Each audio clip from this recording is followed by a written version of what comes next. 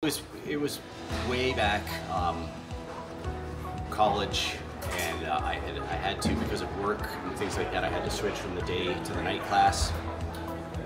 And I'm really glad that I did. The night teacher happened to be a retired military pilot.